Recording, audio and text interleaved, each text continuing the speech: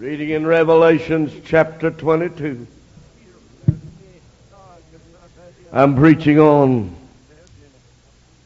the last page. Amen. Verse 7 says, Behold, I come quickly. Blessed is he that keepeth the sayings of the prophecy of this book. Verse 12 says, And behold, I come quickly, and my reward is with me, to give every man according as his work shall be. I am Alpha and Omega, the beginning and the end, the first and the last. 20th verse. And he which testifieth these things saith, Surely I come quickly. Amen. Even so, come, Lord Jesus. We're in the last days. We're in the last page. And did you hear what I read? He said, Behold, I come quickly. Is that the way it reads in your Bible, Brother Tommy? Is that the way it reads in your Bible, Brother Ray? You got a King James version there. What does the seventh verse say? Read it.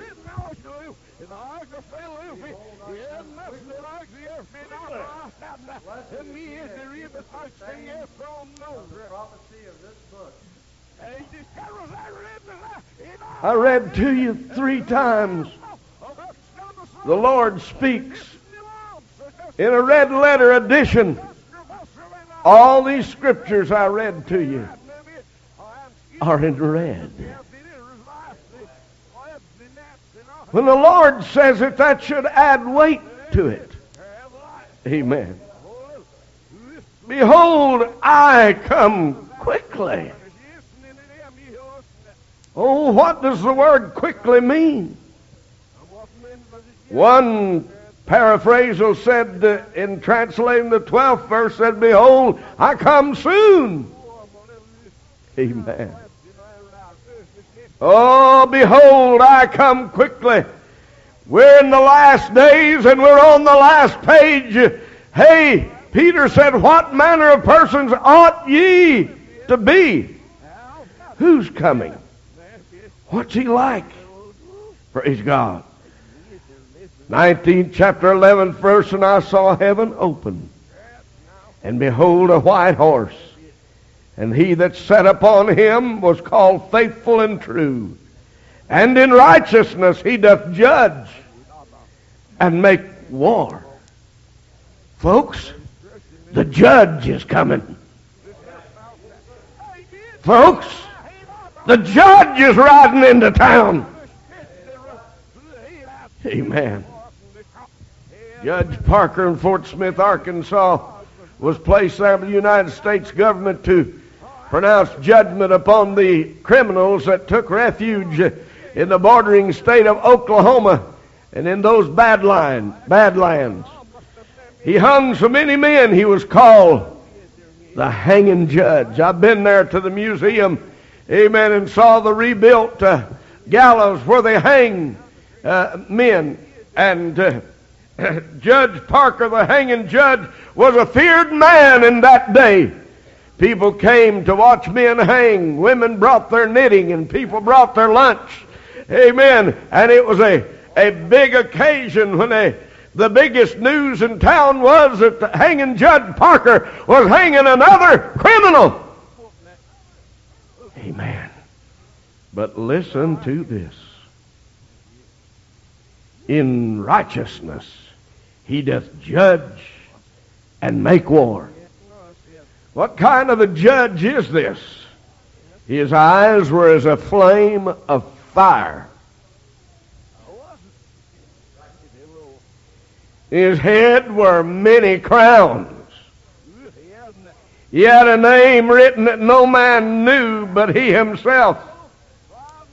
And he was clothed in a vesture dipped in blood.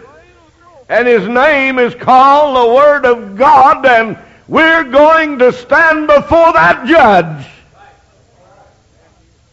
The world is going to stand before him.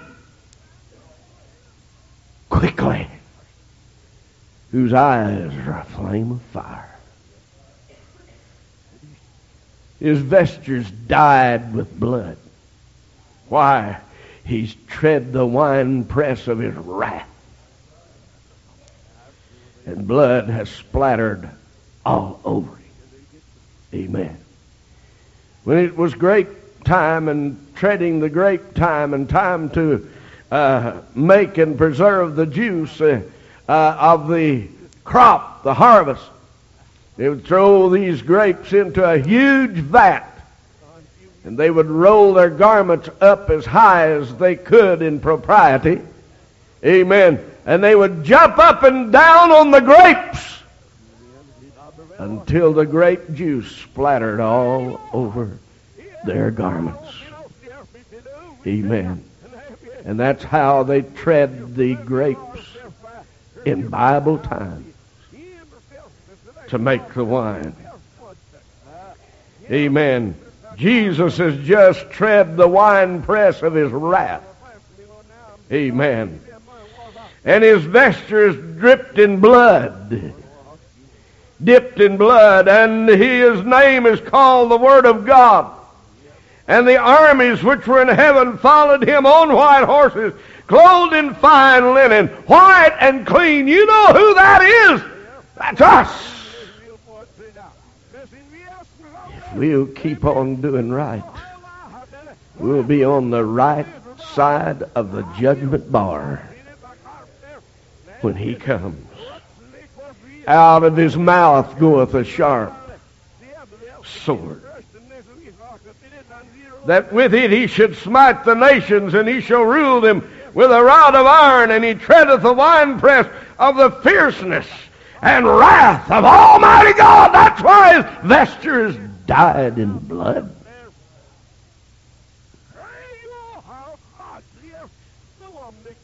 And he hath on his vesture and on his thigh a name written, King of Kings and Lord of Lords.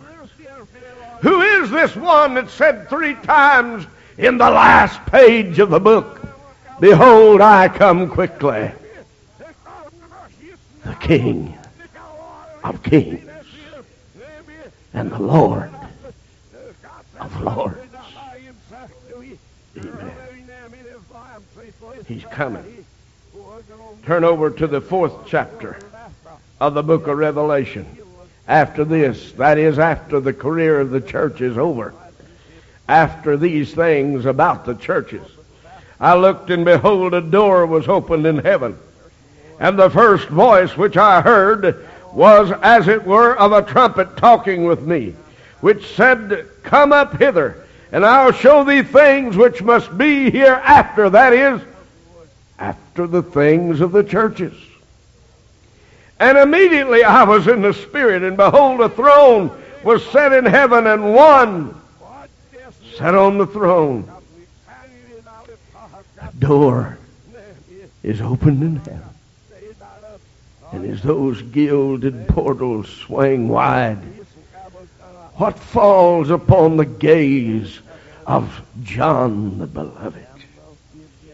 He said, He that sat upon the throne was to, he that sat was to look upon as a jasper and a sardine stone. I looked in the references and, and, and in the uh, some of the center columns in, in the Bibles have a translation in the column, and one of them said, a beautiful sea green. Amen. God likes that color. He wears it himself. Praise God. A jasper and a sardine stone. Amen. And there was a rainbow about the throne in sight like unto an emerald. What beauty. What splendor. What majesty. And around the throne and about the throne were four and twenty seats. And the Greek, amen, says four and twenty thrones. Thrones like the central throne. Amen. And upon the seats or thrones I saw four and twenty elders sitting clothed in white raiment, and they had on their heads crowns of gold. How did they get there? Praise God, they were caught up through that open door. Amen. Oh, yes, the angels beckon me from heaven's open door, and I can't feel at home in this world anymore. Praise God. Jesus said, Behold, I come quickly. And finally, John repeats in answer to the proclamation, Amen. That means so be it. Even so, come Lord Jesus. Hallelujah. They told a funny story years ago about the preacher that said, Behold, I come quickly. And he was going to try to quote it and he forgot the rest of his text. The third time he said, Behold, I come quickly. And he still couldn't remember it. And, and the second time. And then the third time. Again he said, Behold, I come quickly. Amen. He jumped down off the rostrum and tripped and fell right on the lap of a man sitting on the front seat. And he said, I'm sorry, brother, please forgive me. He said, That's all right. You warned me three times. Amen. Amen. But when Jesus says it, He's coming. Amen. Quickly? Brother Collins, what does it mean? We must understand Praise God, this word quickly in relation to eternity and he who dwells in eternity and he who is the first and the last. Amen. I'm talking about the eternity of millions and millions of years of unmeasured time. That's why he could say in the last page, Behold, I come quickly. It is quickly. Praise God. And it's going to happen. How did they get there? Praise God. Around the throne, four thrones are seats. And out of the throne proceeded lightnings and thunderings and voices. And there were seven lamps of fire burning before the throne which are in heaven, and before the throne was a sea of glass like unto crystal, and in the midst of the throne, uh, there round about the throne were four beasts full of eyes. Uh, amen. A translation says, living creatures. God is not the God of the dead, but the God of the living. I like J.A. Seiss' translation of that. He said the living creatures was not only a, another order of redeemed, but even a higher order of the redeemed, even closer to the throne than the 24 elders. Amen. I like that. Amen. If I find out it's wrong, I'll let you know. Amen. The first beast was like a lion. The second beast like a calf. The third beast as a face of a man. And the fourth beast was like a flying eagle. What does that mean? It means all these banners, all these representative uh, figures uh, were a representative group. Amen. Israel marched under four banners when they marched through the wilderness 40 years. Amen. Uh, uh, three of them marched under the lion. Three of them marched under a calf or an ox. Three of them marched under the banner of the face of a man. Amen. And three tribes marched under the banner of a flying eagle. Amen. Each one of these banners are symbols. Amen portray another group or order of redeemed that stand before the throne and continually worship God day and night, saying, Holy, holy, holy. They look around and they're struck with awe when they see what they see yonder on the sea of the they portray saw portrayed before them the glories of the heavenlies. Uh, amen. They run out of breath and said, Holy.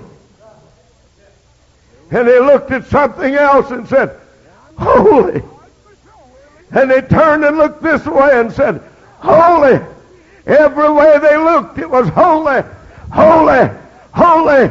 Amen. There was no higher explanation. There was no higher praise. There was no higher glory they could give to God. And so they didn't even rest day or night. Amen. But said, Holy, holy, holy, holy. They looked at the sea of glass and said, Holy. They looked at the throne and said, Holy. They looked at him who sat on the throne and said, Holy. They looked at the city of God and the angels and cried, Holy. I'll bow someday on my knees and cry, Holy. Be the Son of God. Amen. They rest not day and night, saying, Holy, holy, holy, Lord God Almighty. And when the beast gave glory and honor and thanks to him that sat on the throne and liveth forever, the four and twenty elders fell down before him and sat on the throne, that sat on the throne, and worship him that liveth forever and ever, and cast their crowns down before the throne, saying, Thou art worthy, O Lord. Amen. Who are they?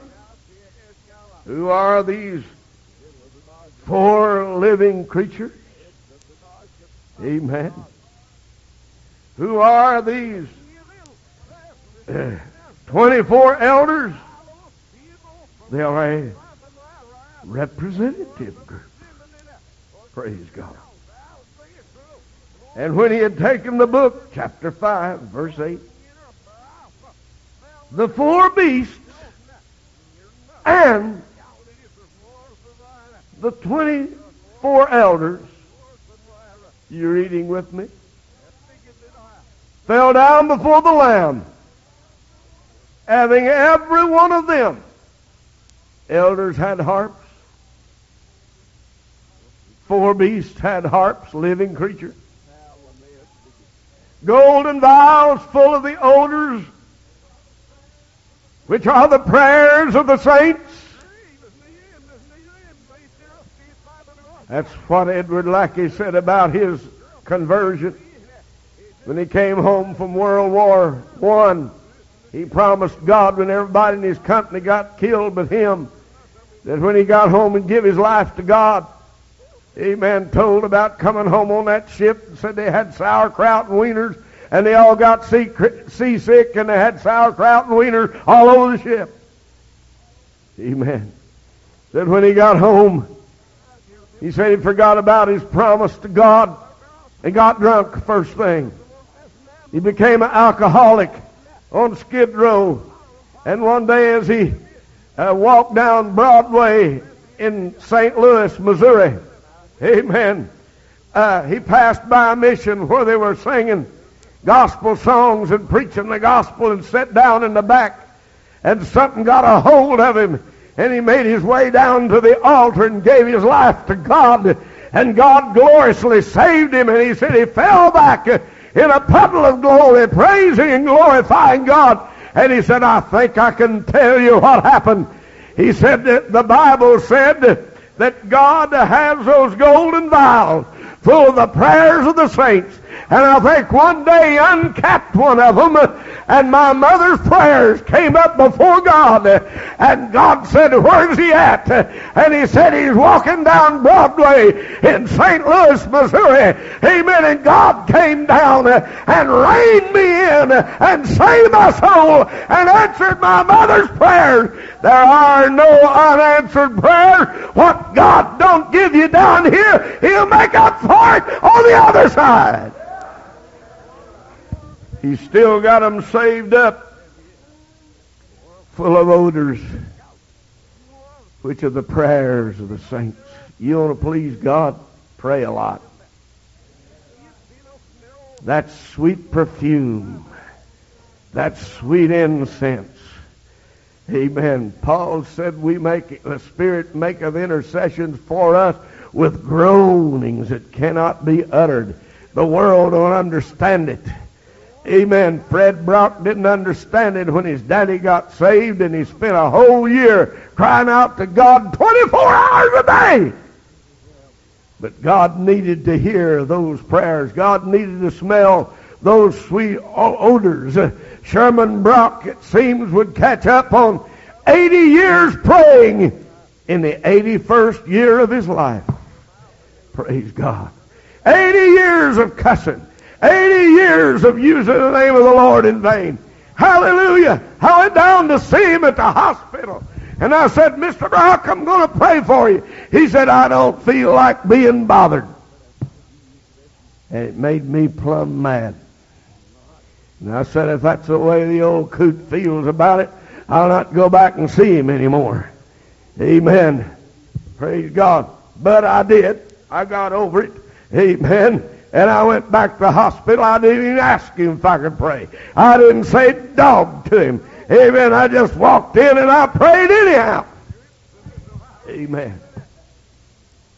On Saturday, Bill Morris drove in front of the parsonage and swung over, pulled into the driveway and said, he lived right behind me. He said, Brother Collins, he said, if you feel at all like it, Bill Morris had uh, known Sherman Brock all his life. Bill Morris had paddled a boat for him when he made those float fishes down the Cumberland River. Amen. And he said, if I would make the least mistake or paddle a boat wrong or take it where he didn't want to go, he had the filthiest mouth of any man you ever heard. He would cuss me out, and I just done the best I could to paddle a boat. Amen. But he said, if you feel at all like it, go by and see Sherman Brock. Amen. Said he's crying out to God like no man I ever heard. Well, by the time I got to the house, he had already prayed through. Amen. He was shouting happy and praising and glorifying God. And he did that 24 hours a day, every waking moment. Praise God for a whole year. Fred, Fred and Mina came here for several years, amen. They still come to visit once in a while. I bought my first bass guitar off of Fred. Amen. Then I traded it to him for a Billy Grammer guitar. Amen. The only reason I did it because he was in the church and he could play the bass and I'd have a good Billy Grammer guitar. Thieves broke in and stole it. Amen. Fred Brock, I've been his pastor three times in Barbourville, at Middletown, and at the Highway of Holiness. Amen. Fred wasn't saved, and he said, I just don't believe there's any use in all that praying, he said. But that didn't make Sherman Brock any difference. He had got saved in his 81st year. And he called on God day and night. I thought, well, maybe he's got his mind on himself and on his own problems. And so I told him, I said, uh, Brother Brock, I said, when you pray, uh, uh don't pray for yourself altogether. I said, pray for me. He said, I have, preacher, have prayed for all these other preachers in town too. Amen. I guess you would if you prayed 24 hours a day for a whole year. You'd finally call everybody's name in prayer. Amen. He prayed. Glory to God. Oh, yes. And one of the elders said to me, Weep not. The lion of the tribe of Judah hath prevailed. Who's coming? on that last page of the Bible, the lion of the tribe of Judah. That's the figure that Judah, amen, and three of those tribes marched under. Praise God. Figure of a lion. Jesus came through the lineage of Judah. Praise God. He is the lion of the tribe of Judah. Amen. Listen to what they did. Amen. And he came and took the book out of the right hand of him that sat on the throne. And when he had taken the book, the four beasts, the four and twenty elders, fell down before the Lamb, having every one of them harps and golden vials full of odors, which are the prayers of the saints. And they, who?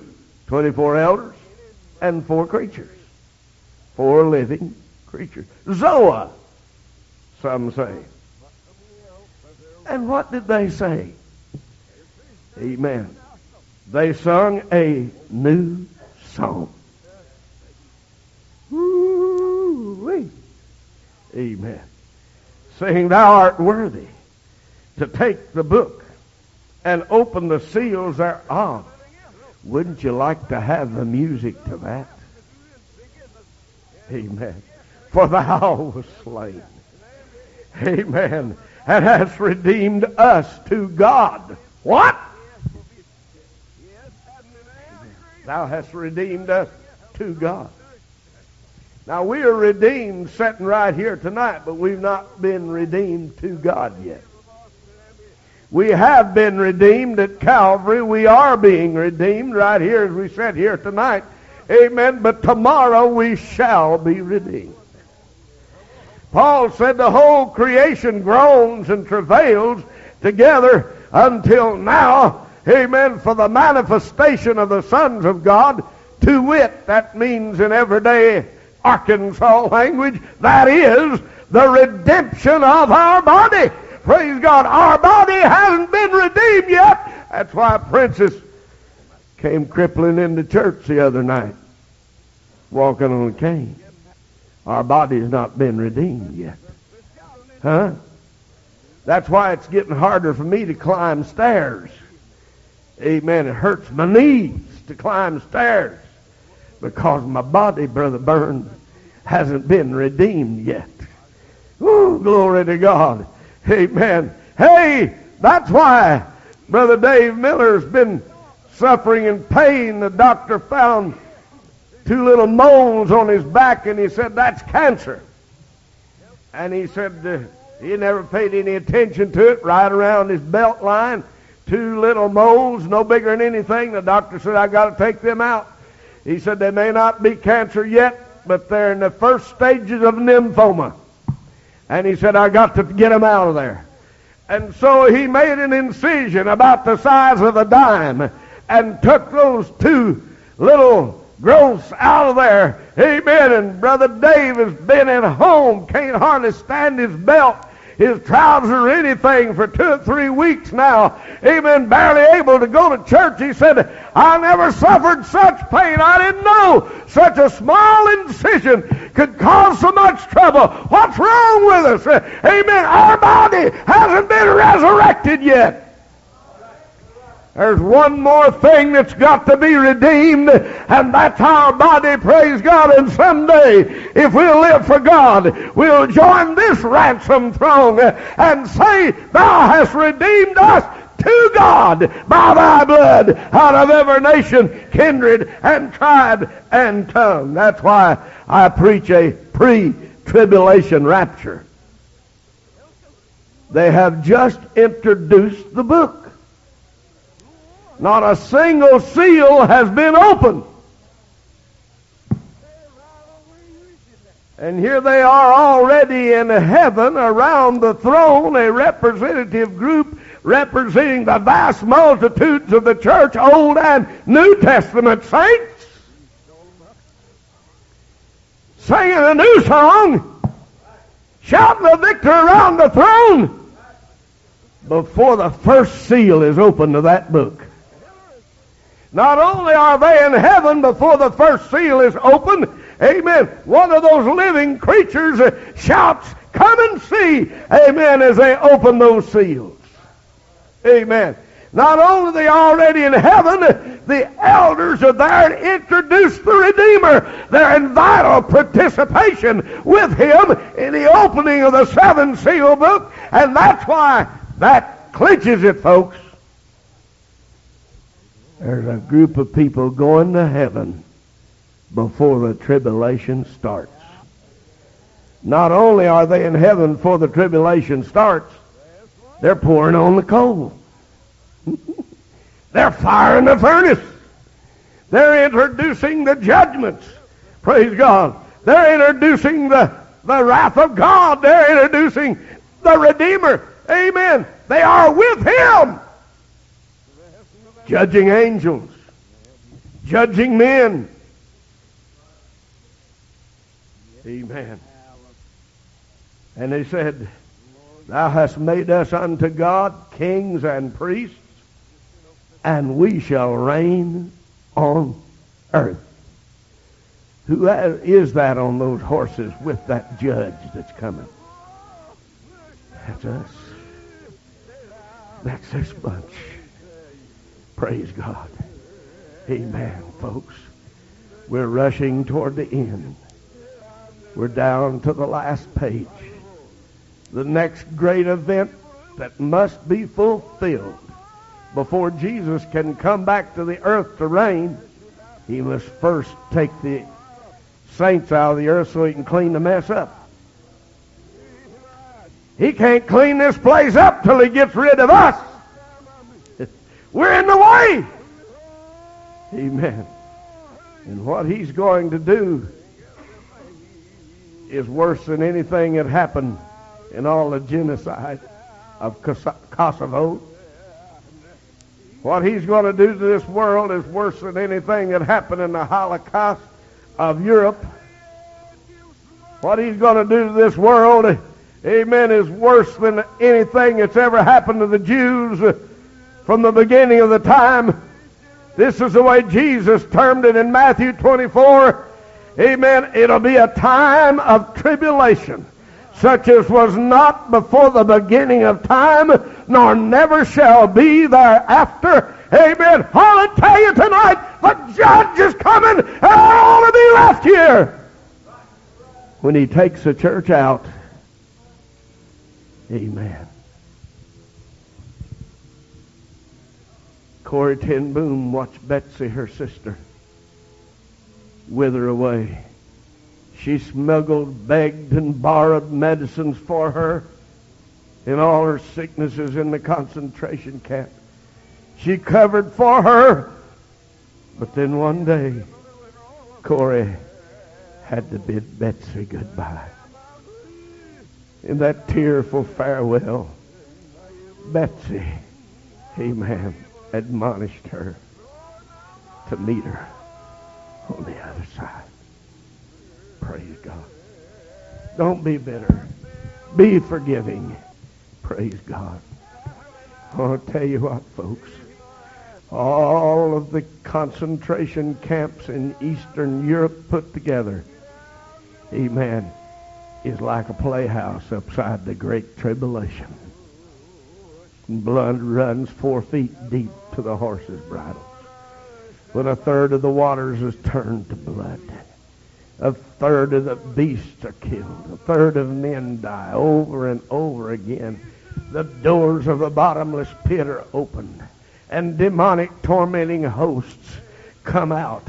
200 million soldiers march across the Euphrates that God has dried up to make away the kings of the east. My God, even the beast himself, amen, is, uh, is, is wounded in battle, and his right hand is withered, and his right eye is put out. Amen. And when Moshe Dayan became the leader of Israel and one of the great generals that conquered in the Six Day War, Amen. When Moshe Dayan wept in the Yom Kippur War in 73, a lot of people thought because Moshe Dayan had an eye patch in one eye, he might be the Antichrist. No, wasn't him. You don't have to worry about anybody being the Antichrist. You don't even have to worry about question who he is as long as the church is here. As long as the church is here, Jerry Wayne, he can't even be revealed. Amen. He won't even show his face long as the church is here. Amen. He can't handle that bunch of prayer warriors.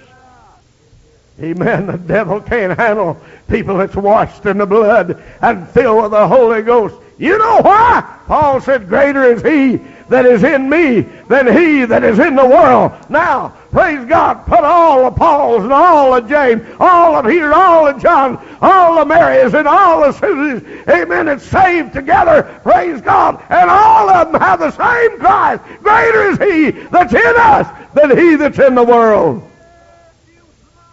The church is too hot to handle for the Antichrist.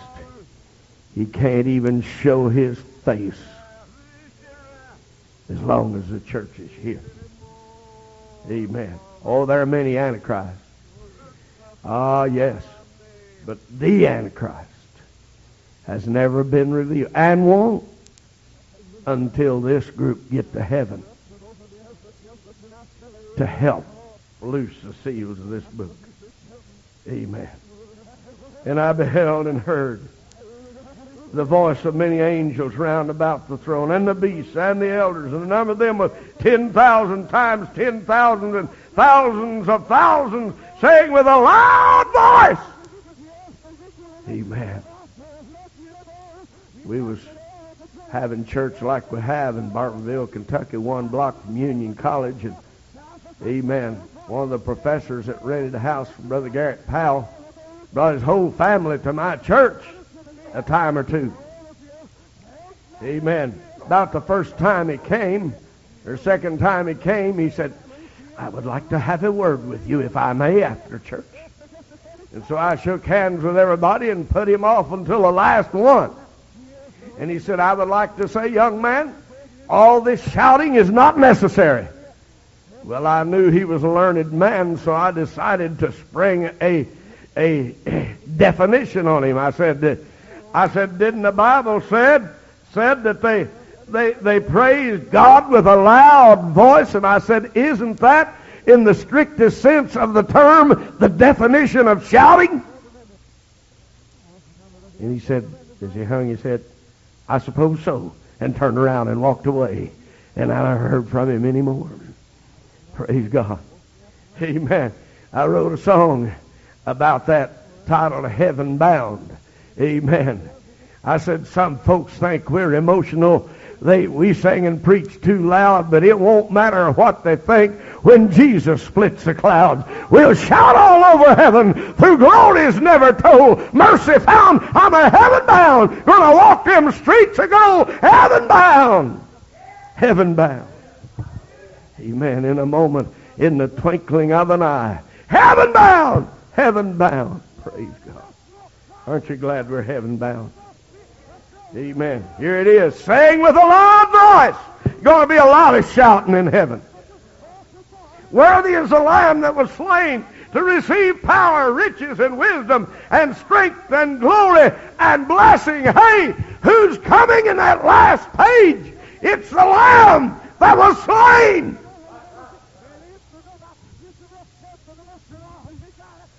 And you know whose blood whose hands his blood's going to be on when the judge comes. Ours, if we don't get washed in it, get our heart cleaned up, get washed in the blood. Amen. If you don't get his blood on your heart and your soul, it's going to be on your hands when the judge comes. Every creature which is in heaven and on earth and under the earth, and such as are in the sea, and all that are in them, heard I saying. I want you to listen to this. Every creature is talking now. Blessing and honor and glory and power be unto him that sitteth upon the throne and to the Lamb forever and ever. And the four beasts said, Amen. And the four and twenty elders fell down and worshipped him that liveth forever and ever. And when John heard him say on the last page, Behold, I come quickly, soon, with expedition. That means it's near, and it's going to happen quick. Amen. John said, just like those four living creatures. Amen. So be it. Amen means let it be so. But he goes on and amplifies that. So be it. Even so, come Lord Jesus. Stand with me and let's pray. The last page. Tell me what you think about holiness after the last page is enacted. We meet to judge. Tell me what you think about rebellion.